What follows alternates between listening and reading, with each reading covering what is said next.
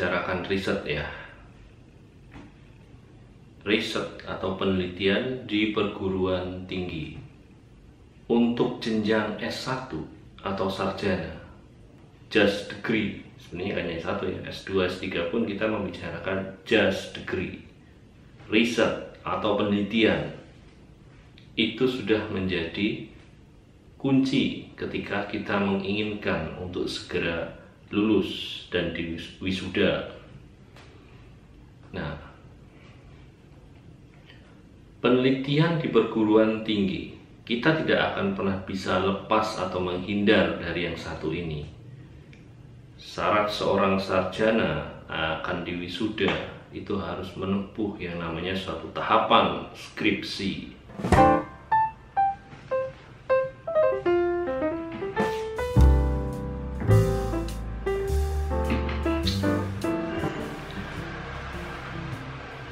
Saja yang harus kita persiapkan di dalam kita menata suatu riset atau penelitian bagi yang ada di jenjang S1 saya membicarakan tidak hanya sekedar riset itu untuk keperluan dosen dalam hal ini mengerjakan tri dharma perguruan tinggi tapi bisa diaplikasikan untuk semuanya terutama bagi mahasiswa S1 Oke,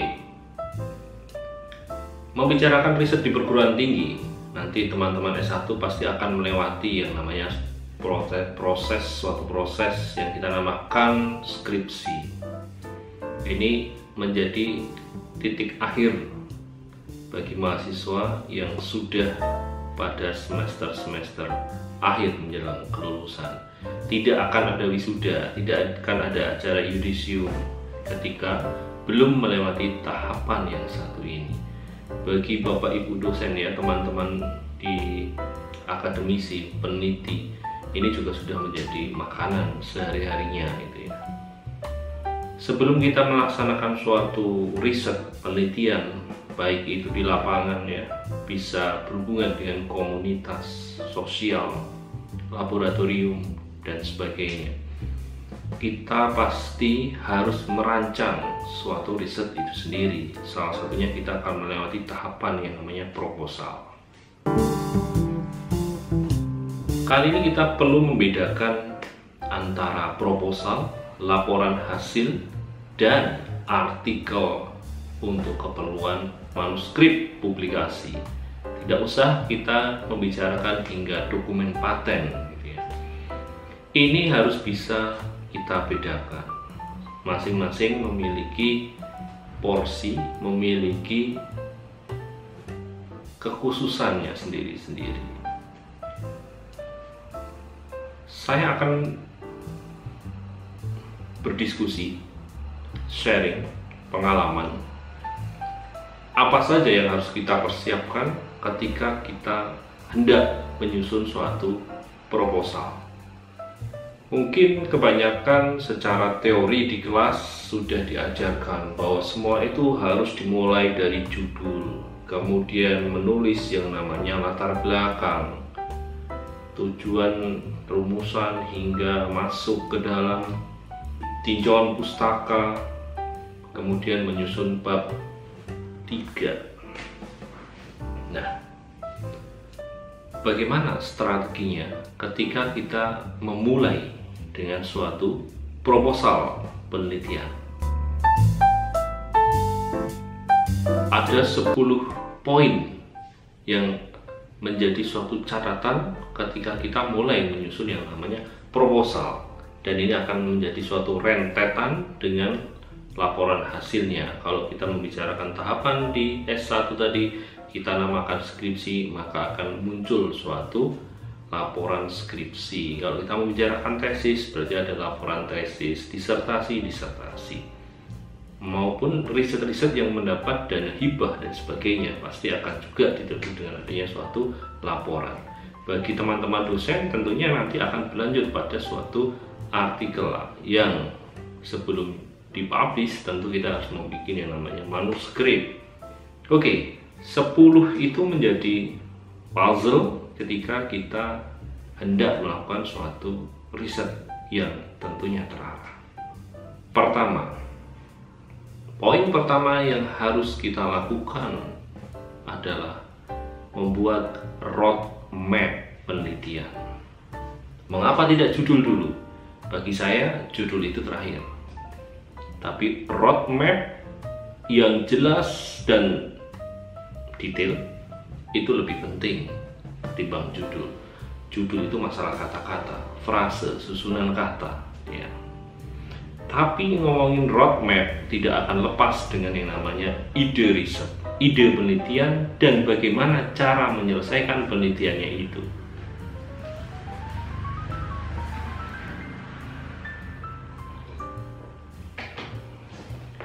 Yang kedua, literasi ala kekinian. Bagaimana kita menyusun suatu review? Dalam hal ini sebenarnya adalah referensi yang menunjang untuk suatu proposal yang berkualitas. Dan ketika kita memaparkan ibarat kita jualan. Jualan ide. Dukungan data dalam hal ini adalah literatur literasinya harus update, harus yang mengena dan sebagainya sebagainya.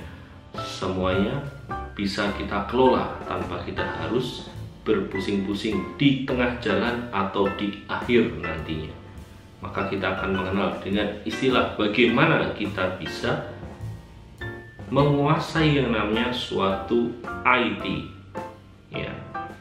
Karena bagaimanapun sekarang sudah semakin terus berkembang yang namanya teknologi komunikasi. Jadi dalam hal ini termasuk bagaimana kita memanfaatkan piranti-piranti lunak yang memang sudah tersedia secara free. Ini sangat menarik. Termasuk bagaimana kita mengelola referensi kita. Kita kenal dengan istilah reference manager. Kita bisa memakai yang namanya Zotero, Ethno, kemudian Mendeley dan sebagainya. Yang jelas open source juga banyak. Jadi mengapa tidak kita manfaatkan untuk mengelola referensi-referensi yang sudah kita gali terus, gali terus. One click save, kemudian kita kelola, kemudian kita panggil lagi ketika kita sudah mulai menulis. Maka di dalam membuat suatu proposal tentunya akan lebih mudah, tidak buang-buang energi dan waktu. Nah, maka setelah literatur tadi, manfaatkanlah IT.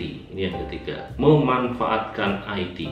Tidak hanya perkara piranti lunak untuk keperluan reference manager, tetapi bagaimana mengoptimalkan siapa yang nggak pernah memakai yang namanya Microsoft Word, MS Word.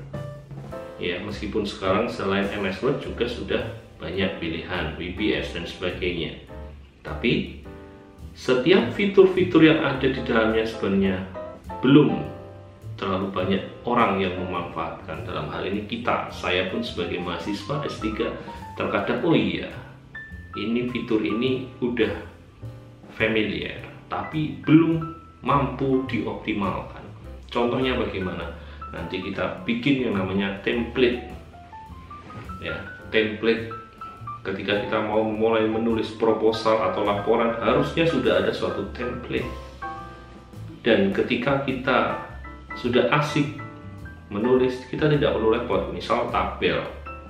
Tabel 1, tabel 2, muncul tabel 3 nggak usah lagi kita manual nanti di daftar tabel kita bikin secara manual tetapi sudah ada yang namanya hmm, insert caption kemudian reference dan sebagainya kita bisa memanfaatkan fitur-fitur yang ada di sana. Kemudian yang keempat kebiasaan terbalik. Ini sangat uh, berpikirnya mungkin bisa beda. Masing-masing peneliti memiliki cara pandang dan sudut pandang masing-masing ketika kita diajarkan oleh bapak ibu dosen juga memiliki karakter yang berbeda-beda tentunya tapi perlu diingat ini kita akan belajar bagaimana cara memandang segala sesuatu terkait dengan ide atau permasalahan dalam ini tidak hanya dalam satu sudut pandang, tetapi dari berbagai sisi. Kita kenal dengan istilah out of the box. Maka yang keempat ini penting. Ini adalah suatu filosofi yang hubungannya dengan kebiasaan terbalik. Kita selalu diajarkan di kelas. Tulis judul dulu, cari judul dulu. Setelah judul bikin bab satu, latar belakang, rumusan, tujuan, dan seterusnya. Kemudian bab satu selesai baru bab dua. Setelah bab dua, baru bab tiga untuk proposal. Maka bagi saya itu udah biasa cara seperti itu dan itu menuntut energi yang luar biasa. Bayangkan menulis latar belakang, memilih satu kata di awal proposal. Butuh berapa menit, jam, bahkan untuk merenung berapa hari. Apa ia langsung latar belakang jadi dalam sekejap? Saya rasakan sulit. Jika memang belum ada ide maka dalam filosofi yang berkebalikan ini kita memulai menulis proposal itu dari bab 3. Bab 3 selesai, lari ke bab 2. Bab 2 selesai, lari ke bab 1. Setelah semuanya selesai, baru rumuskan judul karena tadi saya bilang judul penelitian itu hanya masalah frase dan kata ketika roadmapnya jelas, idenya jelas, langkah cara kerjanya jelas, Anda akan menyusun latar belakang atau tinjauan pustaka itu dengan enaknya, dengan mudah. Maka poin yang kelima kita membicarakan style dari tiap bab itu berbeda. Jangan samakan menulis gaya bahasa di latar belakang bab 1 dengan tinjauan pustaka dengan metode. Kita akan melihat kebanyakan proposal laporan hasil skripsi, tesis, bahkan sampai ke jenjang S3 masih terbawa. Menulis bab 3 cara kerja itu masih banyak yang membawa kebiasaan buruk ketika praktikum. Dia menuliskan dengan kalimat-kalimat bahasa resep masakan. Aduklah, tambahkan, ditambahkan. Itu semua bahasa resep makanan, bukan bahasa ilmiah. Saya seorang pengajar. Tentu kalau orang di akademisi musuhnya adalah pebisnis katanya. Karena orang akademisi, orang yang di perguruan tinggi lebih dominan menggunakan otak kiri katanya. Sedangkan pebisnis, musisi itu lebih banyak menggunakan otak kanan. Tapi tidak dengan saya. Saya seorang pengajar, dosen, tapi saya juga memiliki inter dan intrapreneur di sana. Maka ketika menulis proposal tadi, otak kanan saya bekerja bahwa saya nggak suka menulis proposal itu dari judul, latar belakang, tujuan, rumusan tujuan, tinjauan sampai baru ke metode. Tidak, saya balik. Itu cara kerja otak kanan. Oke. Yang keenam, kita akan menyinggung masuk ke dalam intro latar belakang bab 1 itu ada istilah nanti. Profesor kami mengajarkan bahwa tinggikan kemudian banting ke bawah angkat ide kita. Siapa yang ditinggikan? Penelitian-penelitian yang sudah ada kita tinggikan kita sanjung-sanjung kemudian kita turunkan ke bawah angkat penelitian ide-ide dasar dari ide penelitian kita yang akan menjadi nilai plus di dalam proposal atau laporan hasil nantinya. Kemudian Yang ketujuh tentang literatur di bab 2. Ini juga bukan masalah sepele, comot sana comot sini, rangkum jadikan satu tidak. Ada triknya. Di sini ada triknya tentunya. Kita harus benar-benar mencari, mereview jurnal-jurnal yang update. 10 tahun terakhir, kalau bisa lima tahun terakhir, kemudian yang benar-benar mendukung prosedur kerja kita, ide gagasan kita. Bab 2 menjadi titik kritis. Poin ke-8, kita akan membicarakan metode. Sudah saya singgung tadi dalam metode. Bahasa yang kita gunakan bukan bahasa resep makanan, bukan kalimat perintah di sana untuk menjelaskan cara kerja. Itu kebiasaan buruk ketika praktikum. Ya. Kemudian Sembilan, kita membicarakan hasil dan pembahasan. Hasil dan pembahasan ini bukan menjelaskan cara kerja, mendeskripsikan cara kerja, bukan, tetapi bagaimana kita harus membandingkan hasil-hasil penelitian. Yang terakhir ke-10 tentu berhubungan dengan kesimpulan. Nggak ada lagi angka di sana. Yang ada suatu simpulan yang benar-benar dari data dan pembahasan yang benar-benar berkualitas. Oke, cukup dari saya. Sudah ada azan Isa, kita sampai di sini. Sampai berjumpa di puzzle-puzzle riset perguruan tinggi yang sangat banyak membantu. Ini hanya awalan. Materi ke-10 tadi akan ada di dalam video yang lain. Saya Samsian, wassalamualaikum warahmatullahi wabarakatuh.